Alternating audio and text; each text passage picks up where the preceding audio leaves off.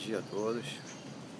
Hoje é o segundo dia que estamos aqui na ilha de Sentosa, na Singapura. O tempo também parece que hoje vai estar muito bom.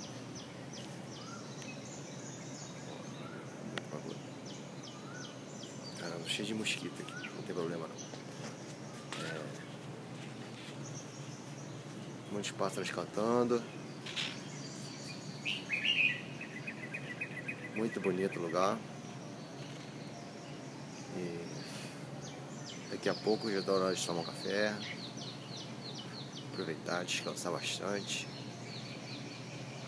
Tomar um banho nessa piscina também, ó. Então assim, segundo dia de férias.